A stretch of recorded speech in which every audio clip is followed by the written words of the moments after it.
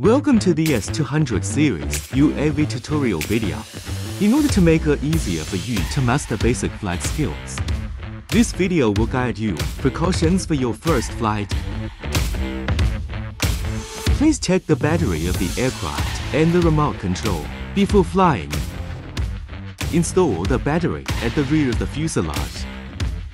Press and hold the power button of the remote control for 2 seconds to turn the remote control on or off. After turning on the remote control, the GDU Flight 2 will pop up app interface automatically. Register a GDU account to login.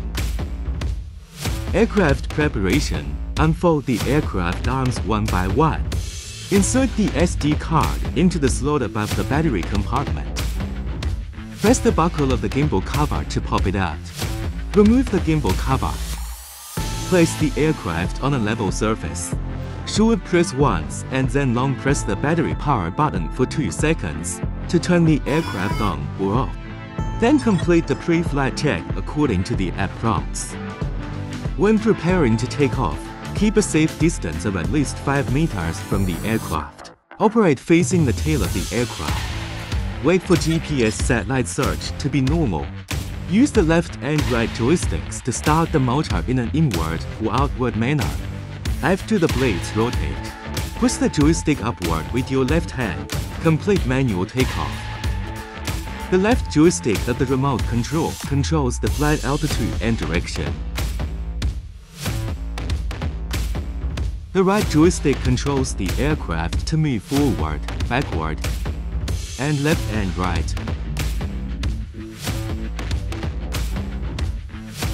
Below the image transmission interface, you can see the current flight altitude, speed and other parameter information.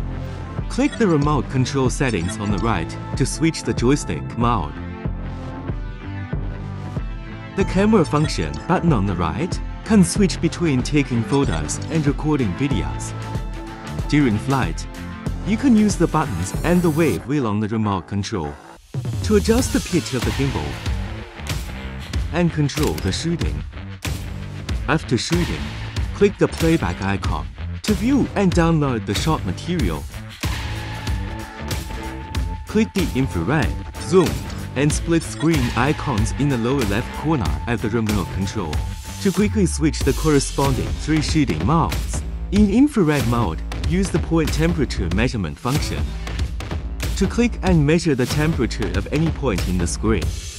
Use the regional temperature measurement function to select the temperature measurement area and move the area. The highest and lowest temperatures of the area will be displayed on the screen.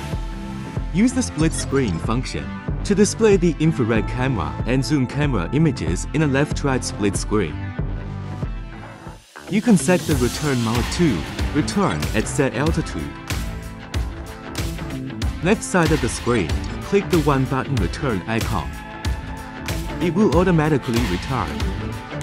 After the aircraft returns to the return point, it will automatically land on the ground and stop the propellers.